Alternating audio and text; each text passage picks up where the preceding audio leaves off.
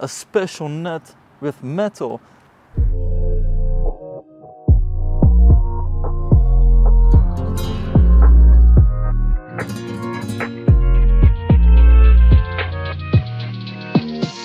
The air vents are lightened up.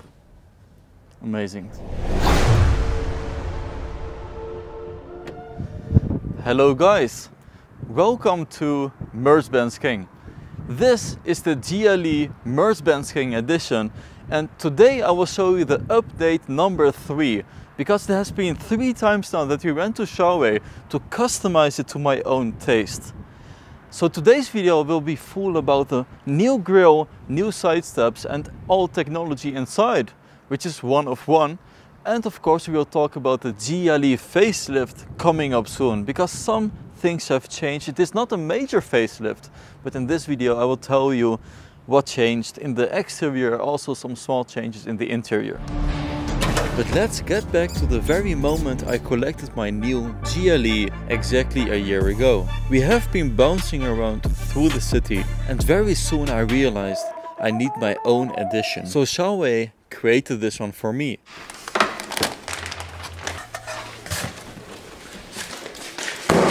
For a short while I have been driving around with the AMG exterior in chrome, knowing that I will have my own edition in carbon fiber very soon.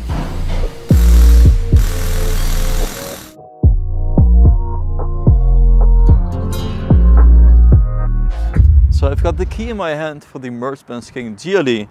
I will just lock it, the side mirrors fold in and on the back side of the GLE key I do have carbon fiber in glossy black. This is with the Schawe emblem and it also characterizes the Schawe carbon fiber on the exterior because all the carbon fiber on the exterior is glossy carbon fiber. In the interior we have matte carbon fiber. So what's new for phase number three?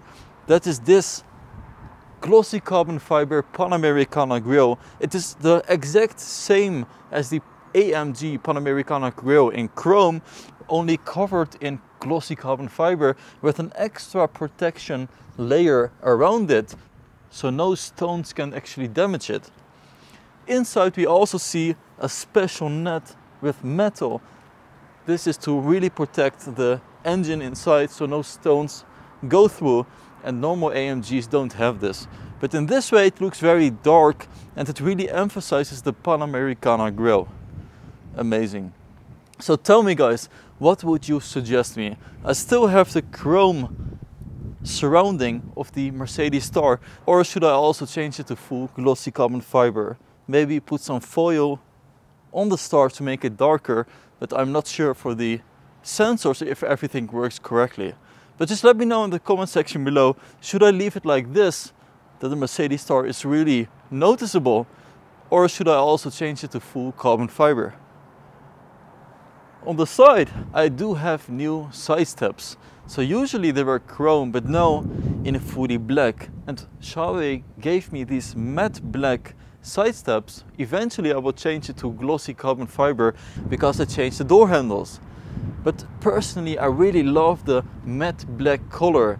It really matches with the brakes because Schawe sprayed it into black. It used to be gray. It really gives contrast to the huge stand of this GLE. So if we look closer, it also matches perfectly with the door handles because these have been changed. Usually with the keyless entry, you have chrome around the door handles on the top.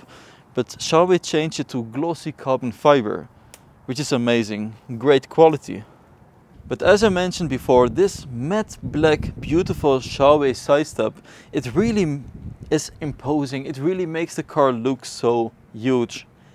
The only downside is that small stuff is really noticeable, so you just have to remove stones and other parts. The keyless entry still works with these Schawe glossy carbon fiber door handles. Beautiful, it really matches the key in glossy carbon fiber and even the Panamericana grille in the front plus the Mercedes-Benz King emblem here on the C-pillar and I told Schawe please put me this emblem just like the emblems on the Maybach.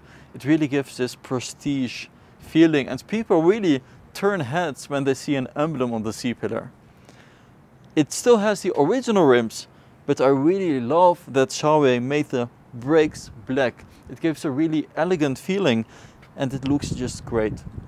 The rims we might also change later to the Schawe rims, but we still have to look at design. So in the rear I also changed a lot together with Schawe. I asked Schawe please make the design just like the AMG because AMG always has their AMG lettering on the left. So there I have Schawe and on the right side GLE 400D. Plus the chrome lid on the trunk I changed it to glossy carbon fiber.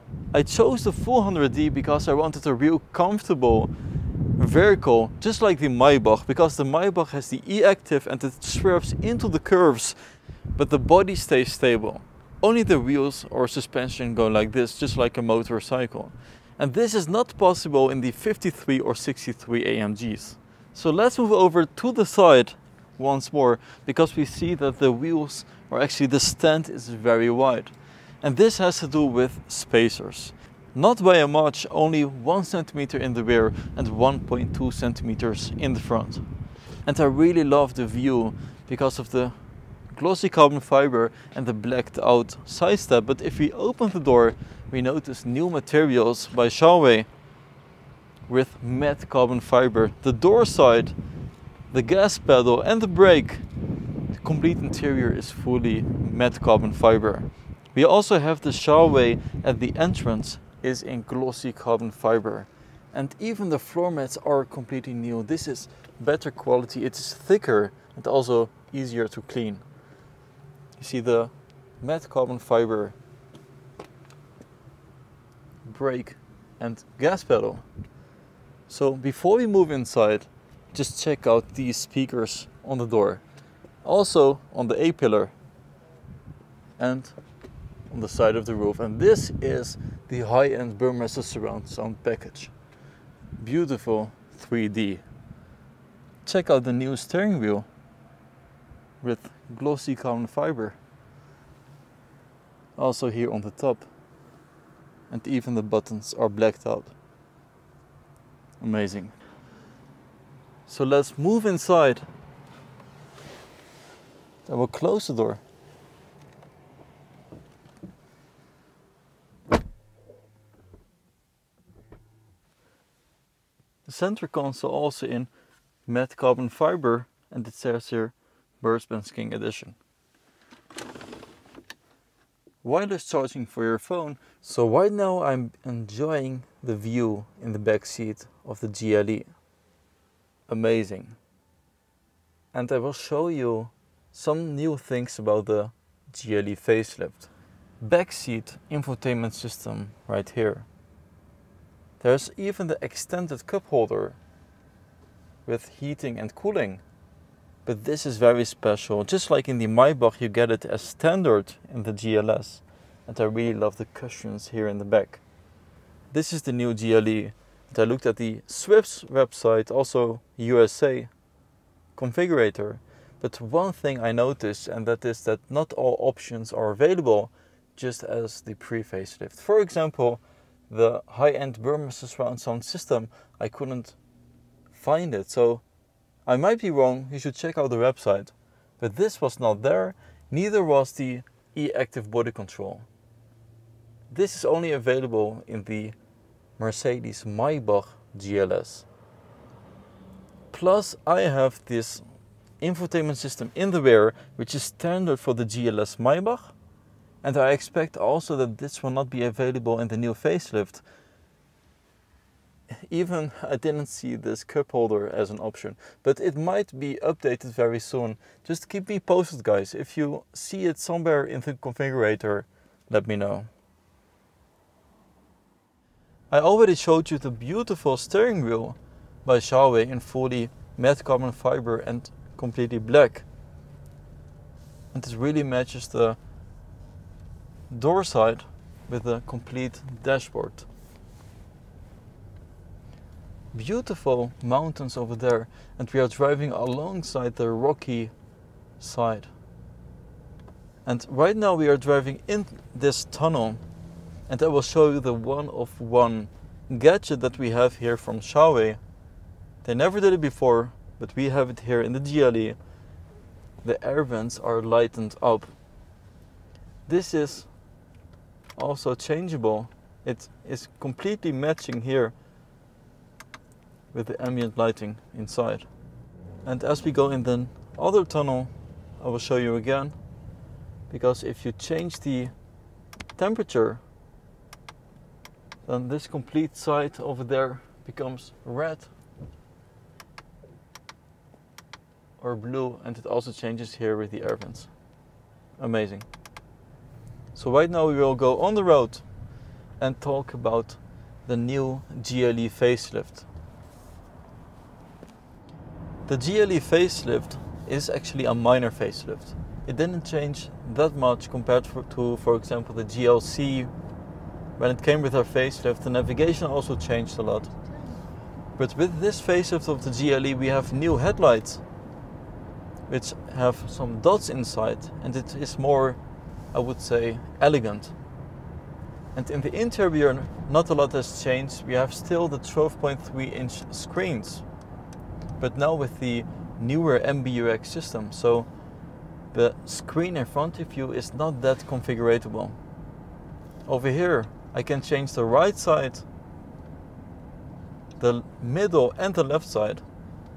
But with the new GLE facelift, you only have four or five different screens that you can choose from the classic screen, sport screen, and navigation. So you have a full navigation map in front of you. So the major thing that changed in the interior is definitely the new steering wheel. It is a matter of personal taste, so it constantly knows when you are having your hands on it. And this is very important for the autonomous driving or the driving assistance. Because when you activate the driving assistance, it shows there with the steering wheel that it is active and I just have to give a little bit of weight to the steering wheel so it knows that I'm actually driving without losing attention. So I can leave my hands off the steering wheel for like 10 seconds. But with the new sensors, you do have to have your hands on the steering wheel almost all the time because it really notices when you have your hands off. And other changes are definitely design so right here we have a beautiful flat bottom, also a little bit more flat on the side. And I really love the two vertical lines here at the center. And with the new design it is a little bit more closer to each other. But let me know guys, what do you think? The new steering wheel or the older AMG steering wheel? You can let me know in the comment section below. Furthermore, the rear, the tail lights, they changed. It still has the same form, so with the edgy points at the trunk area, but the illumination is different with two dots, or actually two small stripes. And with the pre-facelift, we have the lights all around. So also let me know, what do you think about that? So guys, as I mentioned, we are driving with the e-active body control, so I will change the system into curve mode. And I already mentioned this is the mode that you can find in the Maybach. This is only for the e-active body control. Thanks for watching Benz King guys. I hope you liked the video and see you guys next time. Bye bye.